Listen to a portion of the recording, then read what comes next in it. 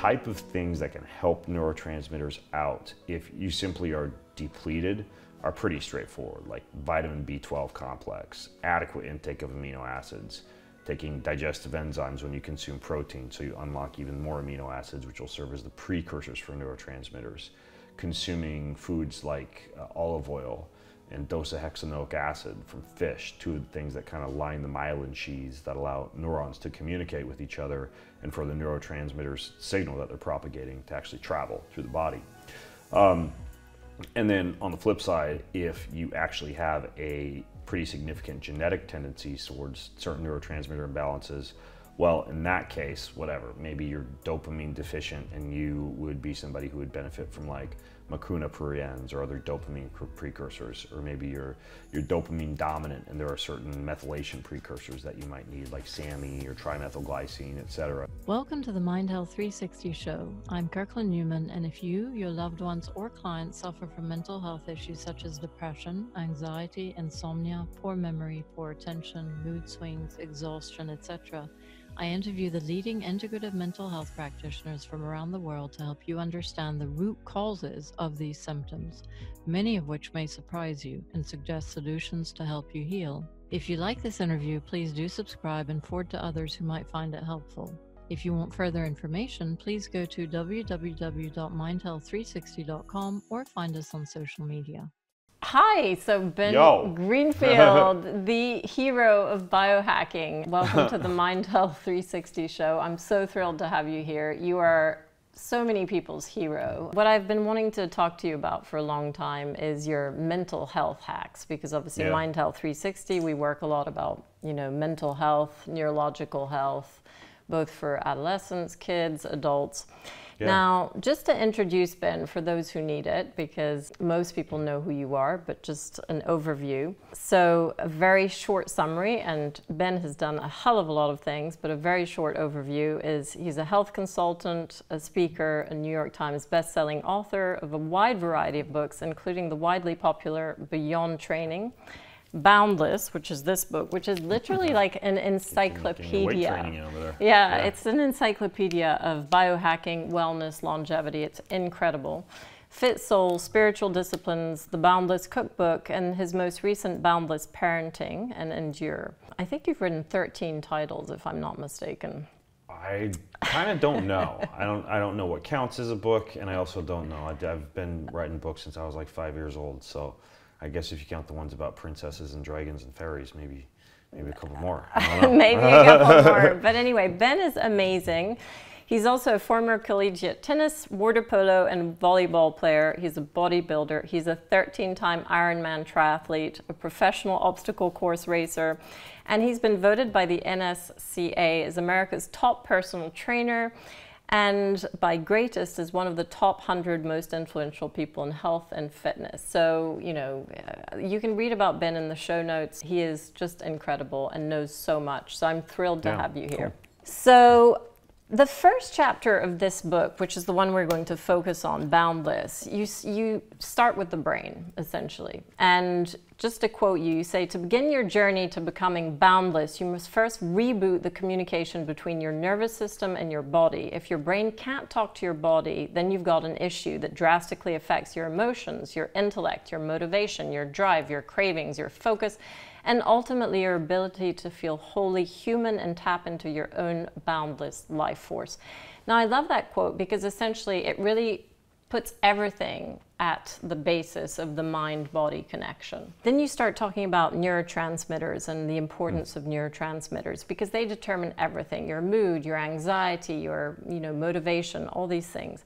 Yeah. And you talk about the fact that people have so many deficiencies or excesses in these neurotransmitters that cause depression, anxiety, demotivation, brain fog, yeah, insomnia, eating disorders, lack of attention, poor memory, addiction, fatigue we know also that now we're in a real mental health crisis. There's an epidemic of mental health issues, especially among teens yeah. and also adults. And so, what I love about your book is you have so much information on how to hack the brain and how to hack your, your mood and your mental health so that you are just, you know, much happier, much healthier, much more motivated. So, tell me, I mean, Okay. it's a tricky one. Okay. Uh, where to start? Like, if you want to balance your neurotransmitters, for instance, and is that where you would start when it comes to brain health? where I would start would be not necessarily with neurotransmitters because I'm very data driven in my approach. Like if you were to come to me and want me to like help you with your diet or figure out something that's going wrong with you, I want to look at your uh, parasites, yeast, fungus, everything you'd find out in a gut stool sample. I'd want to see your DNA so I can see what you are and are not genetically predisposed to, from histamine intolerance to methylation issues to nitric oxide production, you name it. I would want to know uh, your, your hormones, typically via urinary hormone tests. I'd want to know thyroid, lipid panel, complete blood count, vitamin D, magnesium, all your electrolytes via a micronutrient and also a blood panel. I'd even want to know things like you know food allergy tests, you know, heart rate variability measurements, sleep measurements, and yes, I'd want to know about your neurotransmitters, but that's not necessarily where I'd start if I have access to data. If I don't have access to data and somebody is complaining about brain fog or poor word recall or lack of verbal fluency or executive functioning or anything like that, I definitely take into account that that's a possibility. Because, like you were describing earlier, your brain is the master controller, typically is something that early on in the process of dialing in your health, you want to take a look at. And a lot of people don't, right? They want to look at their biceps or, like, you know, how fast they can run a 5K or whatever. So, with the neurotransmitters, it's difficult because urinary levels of neurotransmitters don't necessarily indicate the tissue levels of neurotransmitters. And a lot of people might think, oh, that's stupid. Like, why, why would anybody ever test neurotransmitters and tell me that my neurotransmitters are imbalanced or low if the urinary test doesn't indicate what's in the brain? Well, if that's stupid, imagine what's going on in lipidology, where basically every single person who's getting a cholesterol test, all they're getting is a test of plasma blood levels of lipids and not the actual tissue levels of cholesterol. So it's not uncommon in medicine to kind of like shoot in the dark and get an approximation for what might be going on, but isn't necessarily going on. Which is why urinary neurotransmitter testing is often not even as good as just like a, a profile of mood state score and a questionnaire like I talk in the book about this one doctor. He's kind of controversial because he's caught some flack for poor medical practices, but his his theories behind neurotransmitters are pretty sound. His name is Dr. Eric Braverman, and mm. he has a quiz that you fill out about you know how irritable you are, how stable you are, uh, how driven you are, how prone to addiction you are. Just a whole list of gosh, I think it's a few dozen questions they answer and then it gives you uh, a readout of whether you might be acetylcholine dominant or dopamine dominant or serotonin dominant or have certain imbalances in these chemical messengers that help to propagate signals through the body and also dictate things like emotions mental health etc so uh, I feel like the questionnaire is a pretty decent way to at least wrap your head around what might be going on. There are also uh, genetic tests, like I mentioned, that can tell you how quickly you might break down dopamine. Meaning, if you break down dopamine super quickly, you might be prone to being that person who just like constantly needs some new rush because dopamine just needs to be in your system a lot. So you're like one of those cliff jumping, skydiving, motorcycle riding superheroes. Or maybe you have poor dopamine clearance and you actually struggle with like depression and, and you know and, and you, you have a hard time feeling good on anything. And you know the same could be said of serotonin or acetylcholine which is typically associated with you know in the case of the former sometimes gut issues sometimes uh, personality issues related to interaction with other people acetylcholine sometimes brain fog uh, word recall the type of things we might take um, you know, supplements for that have choline in them etc so, long answer to your question, but you asked me if the neurotransmitters would be where I'd start. And I'd say if you're showing symptoms that are similar to the type of things that I talk about in the book that you mentioned that indicate there could be something going on with neurotransmitters, then yeah. And the cool thing is, the type of things that can help neurotransmitters out if you simply are depleted are pretty straightforward, like vitamin B12 complex, adequate intake of amino acids taking digestive enzymes when you consume protein, so you unlock even more amino acids, which will serve as the precursors for neurotransmitters. Consuming foods like uh, olive oil and docosahexaenoic acid from fish, two of the things that kind of line the myelin sheaths that allow neurons to communicate with each other and for the neurotransmitters signal that they're propagating to actually travel through the body. Um, And then on the flip side, if you actually have a pretty significant genetic tendencies towards certain neurotransmitter imbalances, well, in that case, whatever, maybe you're dopamine deficient and you would be somebody who would benefit from like mucuna pruriens or other dopamine precursors, or maybe you're, you're dopamine dominant and there are certain methylation precursors that you might need, like SAMe or trimethylglycine, et cetera. So it really takes, you know, as you can imagine from my belabored TED talk of a response, that there does take a little bit of digging and self education to really truly understand what's going on with neurotransmitters. But painting with a broad brush, have olive oil, have fish oil, make sure you get an adequate vitamin B, and get amino acids and protein into your body, and you're at least going to cover some of your bases. So that's a great answer. And when you talk about neurotransmitters, it reminds me of hormones as well. Like hormone levels fluctuate from minute to minute. They, they're very yeah. hard to measure. Yeah. And they're very linked to neurotransmitters, yeah. right? And probably a lot of the same things that affect your hormones affect your neurotransmitters. So that's there's that sort of link. Yeah. What do you do though if you're a vegan or you're a vegetarian? Because, you know, or if you have like low stomach acid and you can't digest, you know, you can't get the right protein into your body, what would you advise? Because there's so many people who who are vegan or vegetarian. Yeah. yeah. And there is, in fact, a phenomenon, for instance, with um, adolescent young girls who are vegetarian or, or, vegan and who suffer from eating disorders. And mm. we know that body dysmorphia is very linked to low serotonin, for instance. And mm. so, you know, always it, it's always really difficult because morally you want to be vegetarian, but then for your mental health, it's it's very challenging to mm. get the right neurotransmitters and the right hormones based, you know, on a lack of amino acids and proteins. So, what would be your solution for that? For vegans and vegetarians, or mm. for low stomach acid, or both? both. Oh, well, uh, for vegans and vegetarians, I mean, it's not it's not as hard as a lot of like carnivore and paleo enthusiasts or whatever would have you to believe to get adequate protein from plants, mm-hmm. right? And, and I have nothing against getting adequate protein from plants and eating only plants. The problem is that plants don't have teeth and hooves and claws and all over the defense mechanisms that an animal has. So they instead have internal chemicals that help to protect them that typically will cause the mammal that eats the plant to experience some type of gastric distress or to allow the seeds or the fruits of the plant to go undigested through the digestive tract and be pooped out somewhere else to grow as like an evolutionary survival tactic. Um, or in some cases, just simply keep a plant or, or, or, a plant species or group of plants from being excessively consumed by animals so that they might go extinct. So, because of that, these type of compounds, many of which you're probably familiar with, like lectins and phytic acid, and phytic acid, yeah, and, and uh, saponins and all these these irritants, particularly to the human gut, must be disabled or deactivated somehow not completely because there's actually some evidence that like trace amounts of gluten the spices and you know spicy capsaicin like compounds that we find in herbs and spices you know black pepper etc a lot of this stuff is mildly irritating to the gut but actually induces what's called a hormetic response mm. meaning it can induce cellular resilience and cause the gut to become a little stronger or the cell to become a little stronger but I mean, if you're a vegan or vegetarian, you're doing you know freaking like boatloads of bread and quinoa and grains and soy and uh, you know a lot of these even like goitrogenic foods like kale and broccoli and cauliflower and cruciferous vegetables.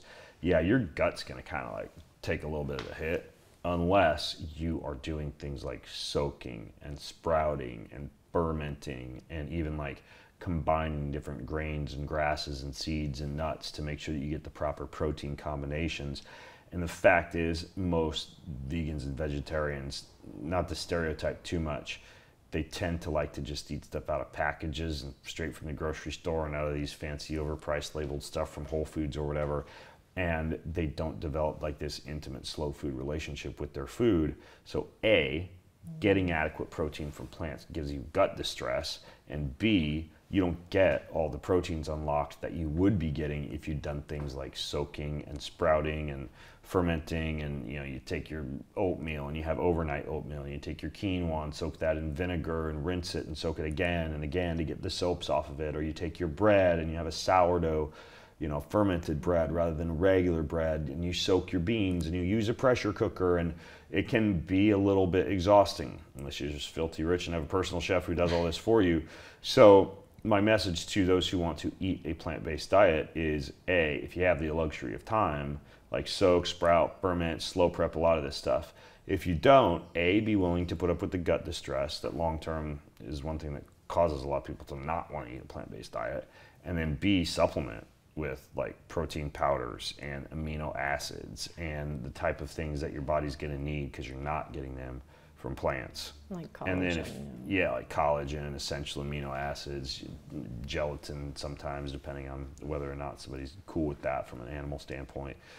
The other thing is like with the stomach acid, it's it's a good point that you bring up because if you don't have enough stomach acid, and usually in a scenario like that, you're also not producing enough enzymes like pancreatic enzymes you can eat all the protein you want, but it doesn't get broken down and turned into its bioavailable amino acids very well. And that becomes a problem, especially as one ages. It becomes a problem with excess stress. It becomes a problem with nicotine use or other things that can aggravate the esophageal tract. It becomes a problem with inadequate probiotic or fermented food intake because you get an imbalance of bacteria in the gastrointestinal tract that can limit stomach acid production and like I mentioned already once, like with the age thing, it you just lose the ability to digest much food as you age. So things like taking probiotics, taking digestive enzymes, especially when you have protein, avoiding things that would irritate the the gastrointestinal lining or the esophageal tract, including like spicy foods, ultra hot foods, super duper minty foods, uh, nicotine, things like that, even smoking, vaping, etc., that can aggravate the lining and cause stomach acid disruption. There are also, in addition to digestive enzymes that you could take with a meal, other supplements that have like hydrochloric acid in them, like mm-hmm. betaine HCl, or gallbladder in them, like ox bile extract. And if you look at a well formulated digestive enzyme supplement, like in the US, there's one company called Thorne, they make one called mm-hmm. Bio-Gest that's pretty good. It's going to have a lot of that stuff in it, but then there are other times when you just have to combine stuff like get a digestive enzyme and then get something that increases bile flow like there's something called TUDCA that's really good in addition to ox bile and then get a probiotic and just make yourself a little digestive pack that if you're like me you just like keeping a little ziploc bag you know in your pocket or your fanny pack or whatever and you just like eat that before meals particularly protein rich meals so do you take digestive enzymes and probiotics at every meal, you personally? No, no. I take a little bit of them with lunch because I have like a light salad for lunch. I have a smoothie for breakfast, and I just feel like a smoothie is so easy to digest, and mm-hmm. it's just mm-hmm. like, you know, added up over the course of the month, I probably have like 150 bucks extra of like enzymes and probiotics and supplements if I also had them like 30 times yeah. every time I had breakfast. So I don't have them with breakfast. And then dinner, absolutely, because dinner is usually the most widely varied meal that I eat and and also has just more protein and more weird foods. And I definitely want to have it with dinner. Because yeah. the better you digest food, with with the more you, the, that you eat from dinner, the better you're going to sleep later on too. Yeah. So and the more, yeah, totally, yeah. and the more nutrients yeah. you'll absorb, etc. Yeah. And you mentioned the sort of gut lining, and that brings me to you have a whole chapter sort of on the blood brain barrier. And I'm fascinated by the link between your gut lining and your gut permeability and your yeah. blood brain membrane, which essentially, you know, allows the good stuff in and is supposed to keep the bad stuff out, both in your gut and in your brain. Yeah. But it doesn't always work that way. And, you know, if you get breaches and permeability in both linings, then you know you can have chronic inflammation and you can have toxins go to your brain and uh, and you know get into your system and things like LPS and lipopolysaccharides etc. And so I'm fascinated by the fact that you spent so long talking about this blood-brain barrier and I think that's so important because I think too few people really understand it or talk about it. And so tell us how do you first of all what disrupts the blood-brain barrier? And is it the same things that disrupt your, your gut barrier, essentially, your intestinal barrier? And also, how do you fix it? Yeah. It is, in many cases, a lot of the things that you would assume would not be that great for the lining of the gut when we're talking about the same things that would cause disruption of the blood brain barrier. So, alcohol, excessive amounts of caffeine, Water's great for the blood-brain barrier.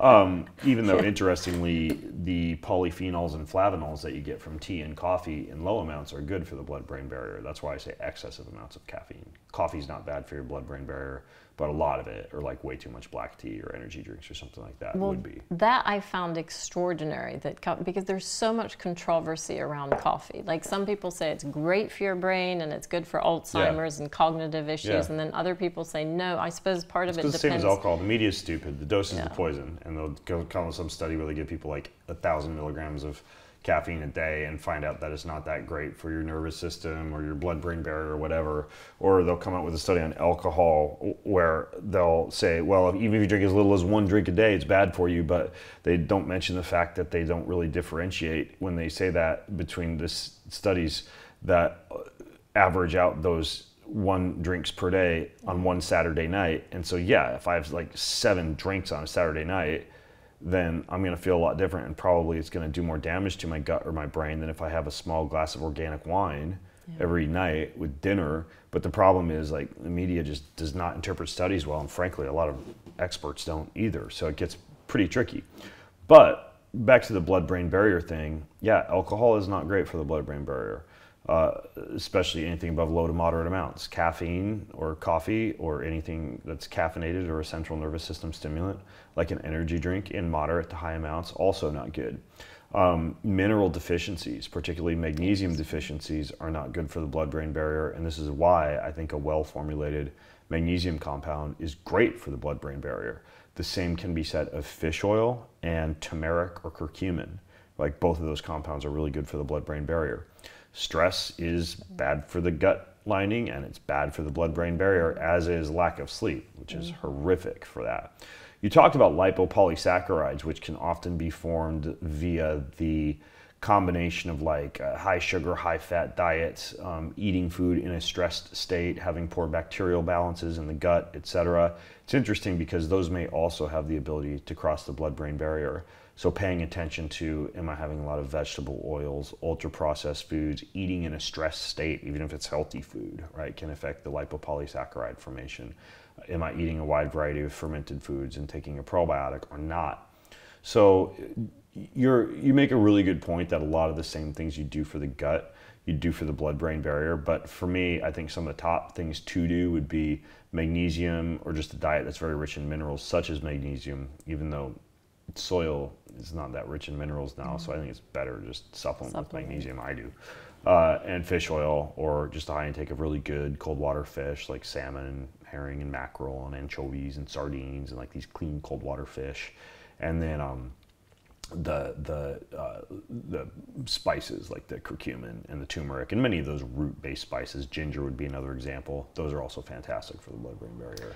And when you say magnesium, are you thinking magnesium threonate, which is a type of magnesium that really is good for the brain and for yeah. your yeah. neurogenesis? Threonate or? and glycinate are both glycinate. pretty good for the brain. Okay. Yeah, even though because magnesium, and you know this, like it's just responsible for so many different enzymatic reactions, reactions, in the body. Yeah. Like I, I like supplements like that one magnesium breakthrough. It's got seven different kinds of magnesium in it. Um, I like to kind of like rotate through different magnesium supplements that have blends, but if, for the brain specifically, threonate and eight and glycinate are pretty good. Okay. Yeah. And then in terms of like repairing this famous blood-brain barrier and also your, your gut lining, I mean, you talk about some amazing hacks in your book, one of them being, you know, cold, essentially. Cold thermogenesis cold or cryotherapy, yeah. particularly getting the head cold. Yeah cold face dunks, or if you do cryotherapy at some kind of a biohacking facility using the one where your whole head is inside, like your whole body's inside and your head isn't just like popping out the top. Or if you have an like ice bath. Like a chamber, like one of those yeah, cryotherapy yeah, like a chamber, chambers. Like yeah, a hard shell chamber. Or if you have like an ice bath, make sure that your head goes under, which is really great for the vagus nerve, for the cranial nerves, for the mammalian dive reflex, which is good for stress response and for the blood-brain barrier. Uh, if you take a cold shower, let the cold water kind of like hit your head and, and pour over it. Uh, you can even use the ice bucket trick. You know the ice bucket trick? No. If you're at a hotel, like fill the ice bucket in the hotels that still have the ice buckets with ice and hang that in the shower head. When you take a shower, like the water goes into the ice and the ice pours over your head, which is actually a really, really cool way to, to take care of your brain. That's just anything cold. Okay. I mean, there's a neurosurgeon in the U.S., Dr. Jack Kruse, who does brain surgery on people, and literally, like one of the main things he does is keeps their head cold because it's just so fantastic for nervous system repair and recovery. Similar to sleep, you know, sleep is that's just where all your your brain's lymphatic drainage occurs, is what it's called. It's where your body kind of cleans up the brain. It's where learning and memory consolidation and processing of emotions and all sorts of things happen that make it almost like the cleanup crew for the brain, including the blood brain barrier. So, you know, paying attention to adequate sleep as well as temperature regulation of the head. You know, then you're throwing that in there with magnesium and fish oil and you know, spices and some of those other things I talked about, avoiding caffeine, avoiding alcohol, avoiding stress. And then you pair that with, you know, taking your olive oil and, and more fish oil and your vitamin B complex and uh, the the precursors for the neurotransmitters like the amino acids, and then you're you're kind of starting to starting to get the cylinders firing. Yeah, no, that's fantastic. Now, in terms of sleep, because you talk a lot about sleep, and I know that a lot of people who have mental health issues have sleep issues as well. And I mean, I certainly had three years of horrific insomnia, which I just couldn't shake, and it was one of the worst periods of my life because, you know, if you really have insomnia, it's a really tough thing to deal with. What are your hacks for sleep? Oh, well, it depends, kind of like the neurotransmitters, why you don't sleep. But really, there's four main things that I would say are the easiest to remember.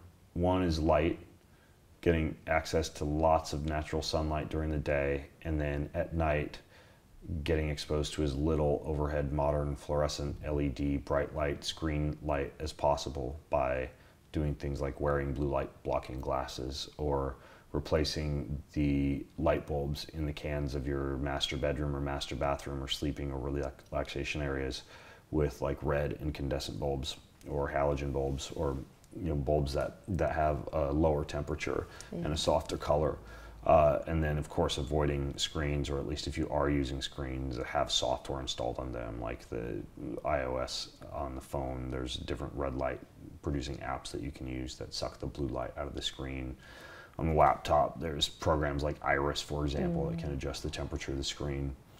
And if you've gotten the light taken care of, another one is temperature.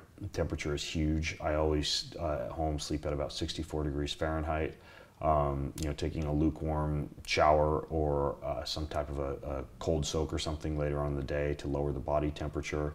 Using breathable sheets and breathable comforters, not wearing excess clothing to bed not eating a heavy meal within three hours before bed, not exercising hard within three hours for bed. Like you sleep so much better if your body temperature is cool. And there are even supplements like uh, glycine would be an example yeah. of an amino acid that can naturally lower the body's temperature a little bit for sleep. I would also pay attention to um, your noise levels in the room, things like earplugs. There are apps like Sleep Space or sleep stream that play ambient noise that kind of like covers up the noise that's in the room. And that can help with like dogs sirens you know anything loud that might be going in the room. And you can even use like wrap around soft headphones if you're a side sleeper. Like there's some called soft phones so your phone's in airplane mode. You're playing something like the white noise or the pink noise the brown noise drowning out sound along with earplugs. And a lot of these noises have been studied to actually amplify things like your delta and theta brain waves that can help out with sleep. And then probably the last one a lot of people don't think about is just like it's related to stress, but allowing your body or your brain to associate the bed or the bedroom with anything except you know, primarily rest and sleep and possibly secondarily sex would be the only things that you'd want your brain to associate the bed with. Like laptop in bed, uh, you know, stimulating business books by the bedside, um, laying on your hotel room bed to do work rather than using the desk across the room. Anything where your body gets the idea that, oh, hey, I can do work in bed and things other than sleep or sex, that's usually something that gradually trains your body to just not shut off when you get into bed. So I would pay attention to those variables light, um, temperature, uh, levels of stress, and sound. I think that's fantastic. When you talk about sleep, one of the biggest problems for me was a dysregulation of the HPA axis. So I had postpartum okay. depression and I had, I was put on antidepressants that sort of um, artificially regulated my cortisol levels and my HPA axis. And so I couldn't do it on my own. And so one of the key things, and you have a great section on this in your book, all about the balancing the HPA axis and balancing your stress. And you have a ton of hacks around that. So what would be your key um, hacks to really balance the HPA axis, which is, you know, your hypothalamic pituitary adrenal axis? And you have this great section in the book where you talk about adrenal fatigue and how you were wrong about that because, you know, and, and the whole, not just you, but a lot of people used to talk about adrenal fatigue and now they talk about HPA axis dysregulation. And one of the key things that we that we find also with the whole um, research around trauma that's been coming out for mental health is that mental health issues are very often a, dysregulation of the nervous system, which essentially is the HPA axis. And so, fundamental to good mental health is a regulation and a balancing of the nervous system. And you know, we know things like the polyvagal theory, and we know uh, we know that the vagus nerve is super important. We know that the hormones, whether it's cortisol, neurotransmitters like GABA, calming neurotransmitters, you know, hormones that lead to, um, for instance, progesterone is linked to GABA, and estrogen is linked to serotonin. We, there's a very important piece around this regulation of the HPA axis. So what? And you have some great sections on it. What would you say are the main hacks for the regulation regulating the HPA axis and also what dysregulates it. Because another thing I love about it is that you talk about all the different stressors, whether they're physiological or psychological. So they could be infections or toxins or things that dysregulate the HPA axis. Not necessarily just because you've had a fight with your spouse. It's also because they're physiological stressors such as molds or toxins that might be activating your limbic system and causing HPA axis dysregulation. So basically, what would you say are the key hacks to regulate and balance your nervous system and and sort of rebalance your HPA axis if it's out of balance? A lot of the stuff is kind of like elephant in the room type of stuff, like sleep more in many cases, stress less, and take care of the nervous system from kind of like a Mr. and Mrs. Obvious standpoint. But then, if you want to take a deeper dive, uh, I think some of the some of the things that you should really pay attention to would be vagal nerve stimulation, cranial nerve stimulation in general, but particularly vagal nerve stimulation, chanting, singing, humming, gargling, yoga, meditation, sauna, cold water, even things like vagal nerve stimulators that can electronically stimulate the vagus nerve.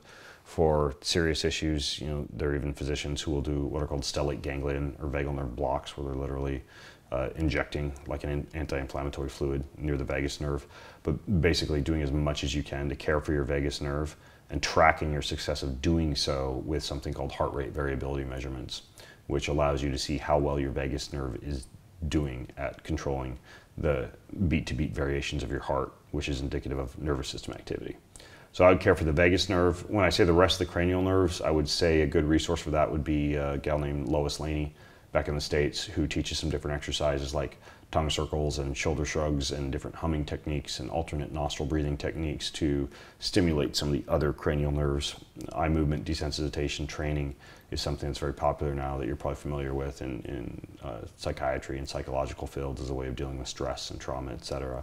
You know, different movements of the eyes, convergence, divergence, you know, saccadic movements, and that also kind of falls into the category of something that's specifically acting on the cranial nerves. So, vagal nerve, uh, cranial nerve. Um, there are also, uh, again, if we're going to avoid the obvious stuff like sleep and stress, uh, certain electrical modalities that appear to be very stabilizing for the hypothalamic pituitary adrenal axis. Uh, uh, infrared light is one. Uh, anything that kind of treats the body like a battery. and so another one would be low level radio frequency therapy um, pulsed electromagnetic field therapy, or what's called PEMF therapy at specific frequencies for the HPA axis. And another one would be uh, negative ion therapy, like earthing, grounding, negative ion generators, etc. There's even you, and I were recently at that that uh, health optimization summit, and they had a bunch of biochargers there. And biochargers, I mean, that's an example of a machine that actually a, has a recipe on it for HPA axis regulation. That recipe uses negative ions, infrared light, PEMF, and radio frequencies. And so those are all examples from an electrical medicine modality of things that would help out with the axis. And then, um, you know, I, I, th- I think that if, if you're looking at the vagus nerve, cranial nerves, and the the way that they interact with the HPA axis is you're, you're generally looking at nervous system, mm. but you mentioned hormones, and there's such a deep interplay between HPA axis dysfunction because the pituitary is upstream of so many different hormones, and the adrenal gland is responsible for a lot of neurotransmitter and hormone production as well. So, uh, doing things like urinary test for hormones, which is more accurate than a urinary test for neurotransmitters, and seeing what your testosterone is at, where your estrogens are at, what your cortisol is at, you know, the upstream and downstream metabolites of cortisol, which you could find out via something like a Dutch test, what your progesterone is at.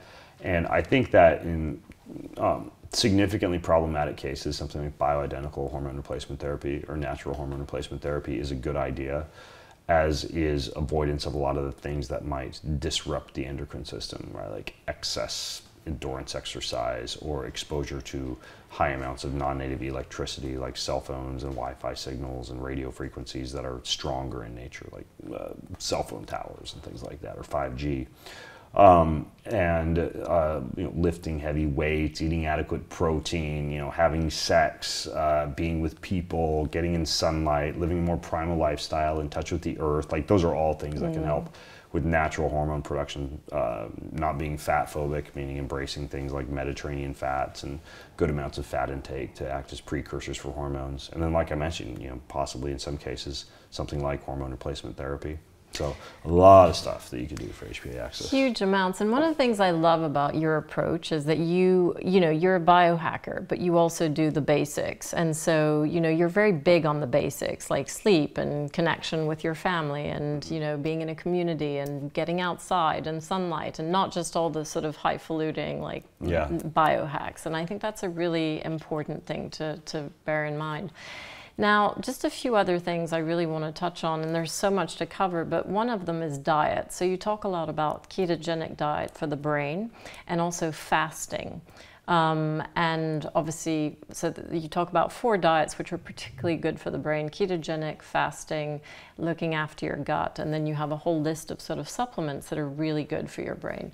Now, in terms of the ketogenic diet, I mean, the research is really great um, in terms of bipolar, schizophrenia, depression, brain fog, cognitive decline, neurodegeneration.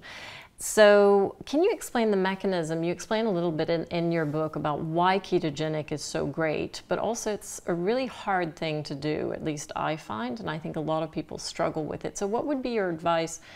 First of all, why does it work? And second of all, what's your advice for people who are, you know, want the benefits of the ketogenic diet, but are a little bit worried about how to do it properly? The brain can burn as a very stable fuel ketones for energy rather than glucose.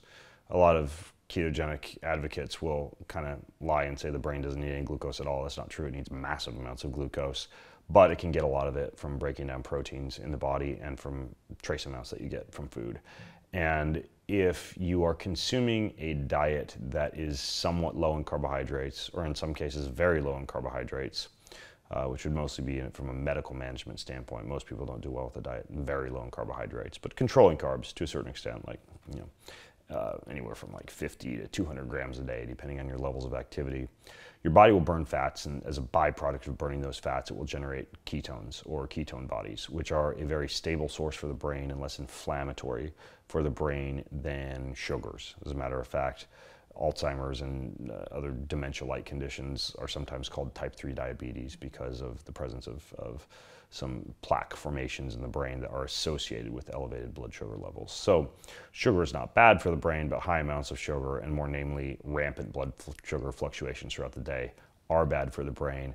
And so initially, you know, there was some research that showed that coconut oil, which helps to generate ketone bodies, was good for the brain. And then later, different companies began to develop like drinkable ketones, ketone salts, ketone esters, all of which will raise blood levels of ketones, whether or not you're eating carbohydrates. And those also seem to show a very, very good effect on controlling things like inflammation in the brain, you know, TBI, concussion, things like that. And so it's essentially a very stable fuel source for the brain whether you get it from drinkable ketone or ketone precursor products, or whether you get it through uh, fasting or carbohydrate restriction. Uh, I think that in some cases, doing it more naturally is better unless you're like some kind of like a hyper athlete who is using ketone esters for performance or you're going for a really long period of time without eating or you just like want to go on a long airplane ride and not be hungry and you want to burn ketones instead of sugars which is actually a decent idea i, I do that um, the the way that you would do it which i partially answered would be by restricting to a certain extent carbohydrate intake. Not as low as you'll often see researchers say, because they're mostly talking about medical management scenarios with people who are like sedentary all day long and quoting values of carbohydrates that would be like 10 to 40 grams, which I haven't tried that for a little while, and it's like almost impossible if you're like going up and down stairs and walking or lifting weights or anything. So outside of that scenario, depending on how much you're exercising, usually having a lower amount of carbohydrates than most people do. Like most people have 600, 700, 800 grams of carbohydrates a day. Mm. So you're having like 50 to 200 grams of carbohydrates. I like to recommend that people, if they want to do a better job staying in ketosis, that they try to time a lot of those carbohydrates around exercise or cold bathing or with things that help the sugar to wind up in the muscle more quickly, like apple cider vinegar or Ceylon cinnamon, or some people will take metformin or bitter melon extract or berberine. But basically, it's controlling, controlling, controlling blood sugar, not eating a lot of carbohydrates, and then fats like coconut oil, even Mediterranean fats like olive oil and avocado oil, and some of the fats that might be less problematic from a potential heart disease standpoint can also be fine for getting into ketosis without you having to put like a stick of butter in your coffee and eat the fat cap off every ribeye steak that you have. So, and, and a lot of that's related to genetics, and that's kind of a rabbit hole. But some people have a very inflammatory response mm. to saturated fats, and if they're going to do a ketogenic diet, I usually recommend they do it with Mediterranean fats and drinkable ketone esters, and not like butter and coconut oil and you know fats off the steak and things like that. So, in addition to that, because the HPA axis that we were talking about earlier, the Leydig cells in the testes and hormone production in general does need a certain amount of carbohydrates. I generally recommend people follow something like a cyclic ketogenic diet. If we're not talking about ketosis for medical management reasons, reasons for something like uh, epilepsy or seizures or whatever. And so the way that works is, and I do this, you don't eat many carbohydrates the whole day so like breakfast might be kind of like a, some protein powder in a smoothie with some coconut milk or bone broth, but not like a bunch of bananas and berries and stuff like that.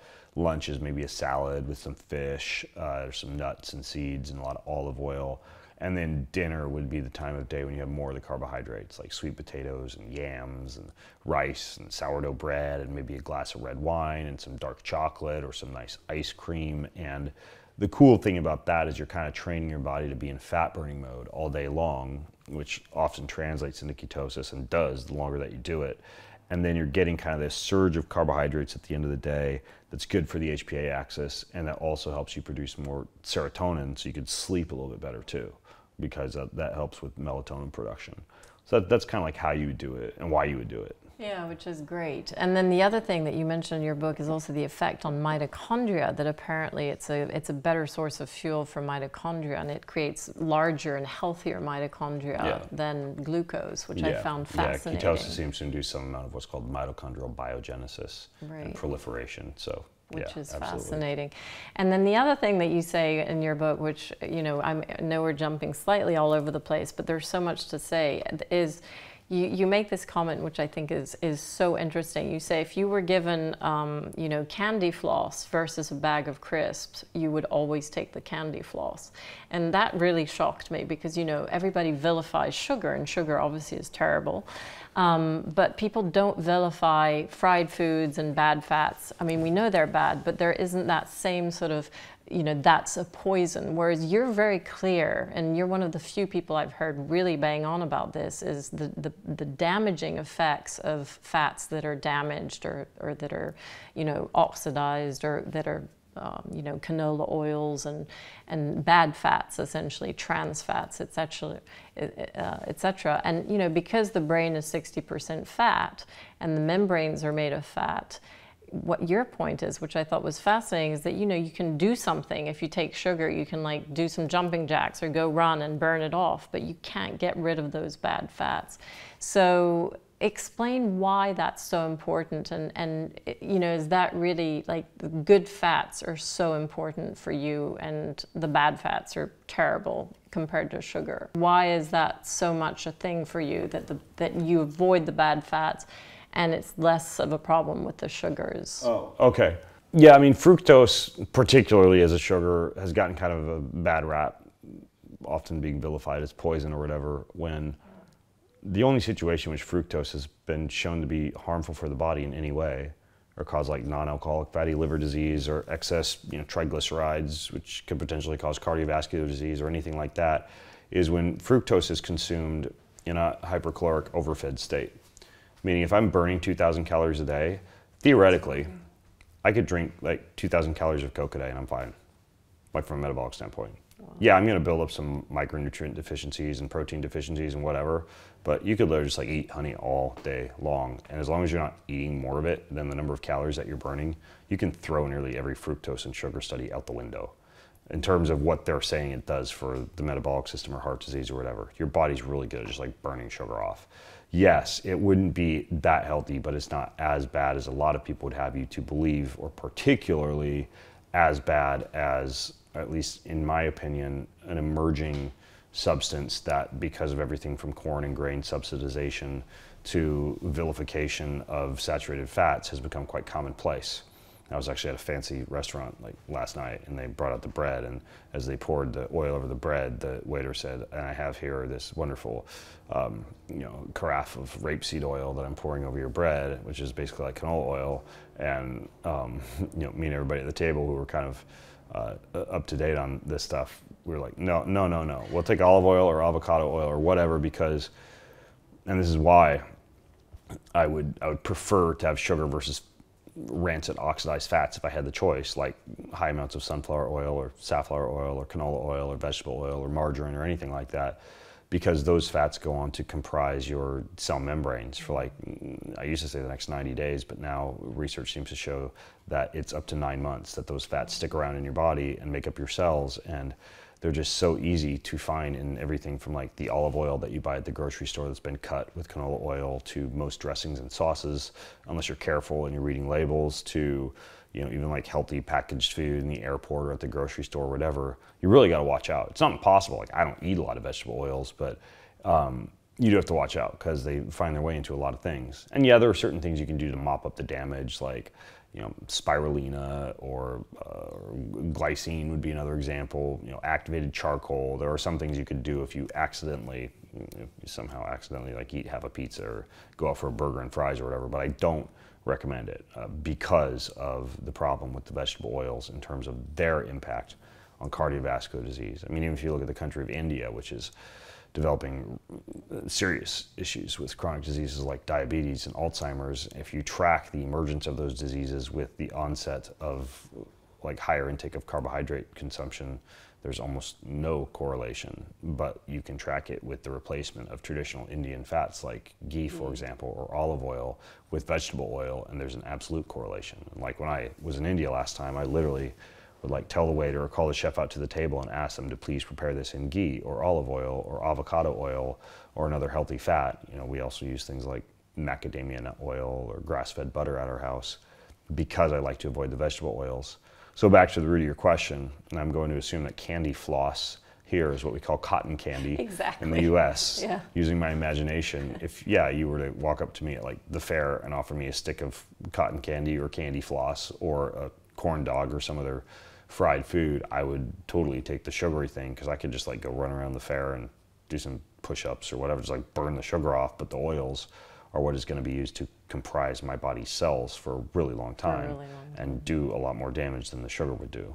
Okay, a few more questions. Um, detoxification, because we know that there's a huge issue with toxins in your brain, um, which you know go through the blood-brain barrier, cause neuroinflammation, and that leads to neurodegeneration and brain fog and depression, all these things. So the key toxins, heavy metals, molds, um, you know, plastics, pesticides, herbicides. What's your sort of hack around detoxification if you were to give us, I don't know, two or three of your top hacks to make sure that you're, you know, not getting all these toxins in your brain to cause neuroinflammation? Yeah, your body's largest detoxification organs or, or mechanisms would be your stool, so your bowel movements, uh, your skin, and your breath. And so I am not a fan of just like eating a crappy diet all year long, then doing some massive New Year's detox. That's just a bad way to live because your body just has to deal with that all year long, and it's difficult on the digestive tract and accumulation of metals and things like that, particularly in the brain, which is relevant to your audience. And uh, it has an impact on, on blood flow and, and excess damage to DNA. And because of all this, it's better to just live a lifestyle in which you're regularly detoxing, like you did a sauna session today. You know, it was infrared sauna, particularly because those photons of light really penetrate more deeply into the skin and that sweating response occurs, that's fantastic for detoxification. So much so that you should clean your sauna frequently because there's so much metals and stuff wind up in it that you don't want to rebreathe those back in or reabsorb them.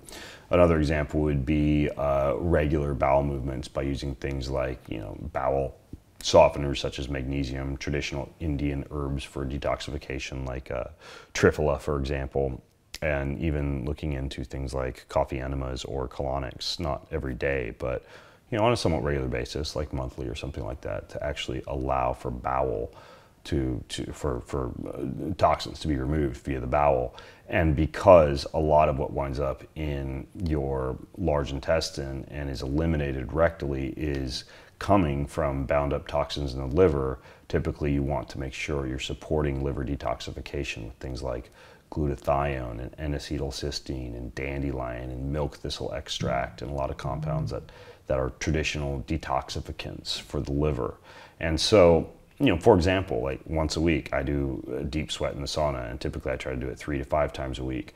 I'm typically taking some kind of a binder, like activated charcoal or something like that beforehand, which helps to bind the things that are being processed by my liver. And before I take the binder, I'm taking glutathione or N-acetylcysteine sometimes on the same day. I'll even do like a coffee enema, which is fantastic for allowing the gallbladder and the liver to step up their function and for more things to be removed in the bowels.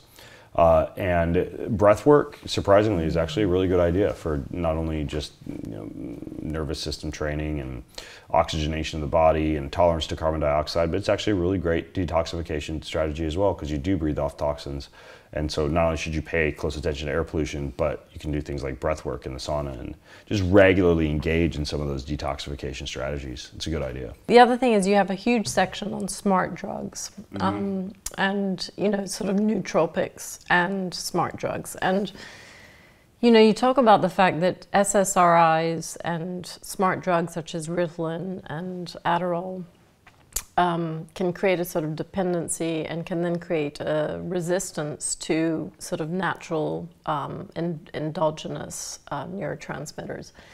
And so your preference would be to choose nootropics over those because they can actually regenerate the brain and cause, you know, increased nerve growth factor, BDNF, etc. So what are your favorite nootropics um, to cause sort of neurogenesis? And if you wanted to replace ADHD meds or antidepressants, what would be your go-to nootropics to do that? Kind of goes almost like full circle back to the beginning of our discussion because most nootropics and smart drugs act on specific neurotransmitters. And so what works well for one person may not work well for another and may even aggravate another person this is why I like companies like uh, there's one called Nootopia, where you go to their website and you fill out a questionnaire very similar to that questionnaire I described earlier about how you sleep and how you focus and you know, whether you have insomnia or too much energy or too little energy and they kind of custom formulate blends of different herbs and nootropics and smart drugs that are specific to you uh, other examples of like shotgun formulas would be like Onnit has one called Alpha Brain, or Qualia has one called Mind, or uh, there's another company uh, by um, they make one called uh, CILTEP, I believe. And so some of those blends work really well, but let's say we're going to step back and like paint with a broad brush, something that would work well for just about anybody, including something that would kind of like help somebody if they were on Adderall or an SSRI and perhaps wanted something different. I'm not a doctor. I don't want this to be taken as medical advice, but usually something that allows the brain to process a little bit better while also replacing the fuels that the brain would use up while processing is a pretty good idea. So because of that, I would say that a really good stack to start with would be um, something called Noopept, N-O-O-P-E-P-T, which is a compound that you'll find in many smart drug or nootropic formulations, uh, and uh, or a racetam like piracetam or aniracetam, and you would take those and you would combine them with something that's rich in choline, like alpha GPC. Um, or uh, citicoline, or even like a higher intake of walnuts or fish or eggs. So you're kind of pressing down the gas pedals of the brain while simultaneously replacing some of the fuel that the brain is burning through. And if you weren't going to do like a big shotgun done for you formula or something like the Nootopia products where you're filling out a quiz, something like Noopept and or aniracetam combined with the choline would be a good way to start. And then one final thing before we wrap up. That you make a very beautiful point about the importance of the soul and spirituality and purpose and you say, you know, uh, and, and this is one of the reasons I think you're, you're so popular as a biohacker is that you're like, you know, none of us are going to live forever. We're not going to look like supermodels, you know, when we're 97 or, or sometimes even when we're 20. But the point is, you know, what's really important is what is your purpose in life and, you know, what is, what are you doing here? And I really like that. And I think, you know, you have a very strong sense of purpose, you have a very strong sense of family, you have a very strong sense of community. Can you tell us a little bit about sort of, you know, how that drives your life and how everything I've read in your book really sort of boils down to that is our yeah. place in our common yeah. humanity. Yeah, um, obviously it's a it's a it's a deep topic. Um, I think of myself, and I think that that people should think of themselves as not a a, a, a, body with the soul, but a soul with the body. Like everything that we do, our brains, our flesh, our muscles, our bones, everything eventually is just going to be gone. We're going to be old and ugly and wrinkled and buried in the ground. But for better or worse, the one part of us that will go on to live for eternity, that spark inside each of us, you know, like the, I forget the Disney Pixar movie, I think it's actually called soul or spark or something like that that is the part that is the most important to take care of through uh, relationships and through family and through love and through positive emotions and through meditation and prayer and singing and worship and connection to a higher power. And that is the most at the end of the day important thing because that really is the eternal you whereas everything else will fade. Ancient philosophers like pascal or Augustine, who would say that we have this eternal hole in our souls and we're just going to keep grasping at a whole bunch of stuff until we find something eternal, like a connection to God, to fill that hole. And what happens is like all this stuff, the biohacking and the smart drugs and the you know, cotton candy and candy floss and corn dogs and everything, like none of that's going to be fulfilling at the end of the day until you're caring for your soul and then when you're caring for your soul, all that stuff becomes like the icing on the cake and it's super fulfilling. And so many people just get it backwards. They're like, oh, I'm going to try, you know, better sex now and, you know, pick up a new musical instrument and, you know, buy some biohack or, you know, get a hyperbaric chamber or switch my diet or whatever. And at the end of the day, like you always lay awake in bed at night thinking there must be something more than this until you begin to care for your soul. So that's long story short, as I would say, think of yourself as a soul with a body not a body with a soul, and structure your, your day and your life accordingly. Accordingly. You just wrote a book called Boundless Parenting, which, um, and I've met your kids. They're absolutely amazing kids. They're some of the most mature, wise, mm-hmm. adorable kids I think I've ever met.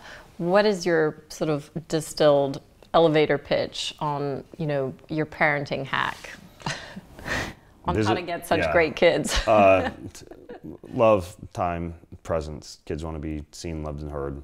More is caught than taught, so set a good example.